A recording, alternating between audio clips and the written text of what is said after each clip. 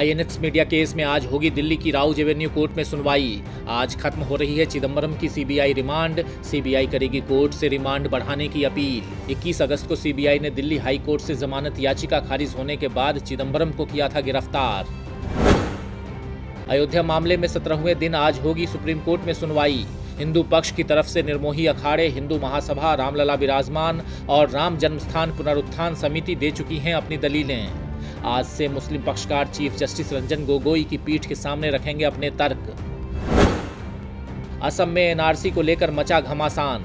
सूची से बाहर लोगों ने सरकार से मांगी मदद। आज से सूबे में 200 अतिरिक्त विदेशी न्यायाधिकरण होंगे संचालित। विपक्ष ने केंद्र और राज्य की बीजेपी सरकार पर लगाया है लोगों के भविष्य को खतरे में डालने का आरोप। गृह मंत्रालय ने 19 लाख से ज़्यादा लोगों को रखा है सूची से बाहर। उत्तर प्रदेश में योगी सरकार की बढ़ेगी मुश्किल। आज सपा के कार्यकर्ता सरकार की नीतियों के खिलाफ बोलेंगे हल्ला।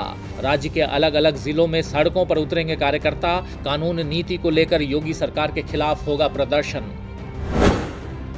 कर्नाटक में कांग्रेस के संकट मोचन पर गहराया संकट। मनी लॉन्ड्रिंग के मामले में कांग्रेस नेता डी के शिव कुमार से आज भी प्रवर्तन निदेशालय करेगा पूछताछ। शिव कुमार ने की थी ईडी से सोमवार को पूछताछ न करने की अपील, ईडी ने किया इनकार। आज से शुरू होगी आर्थिक गणना। उद्यमों की वास्तविक आर्थिक स्थिति की जानकारी जुटाएगी सरकार। पूरी तरह गोपनीय रखी जाएगी जनगणना की जानकारी। आर्थिक गणना से लोगों के जीवन स्तर को सुधारने के लिए नीति निर्माण में मिलेगी मदद। रोज़गार के अवसर भी होंगे पैदा। पूर्व केंद्रीय मंत्री स्वामी चिन्मयानंद पर आज होगी सुप्रीम कोर्ट में सुनवाई।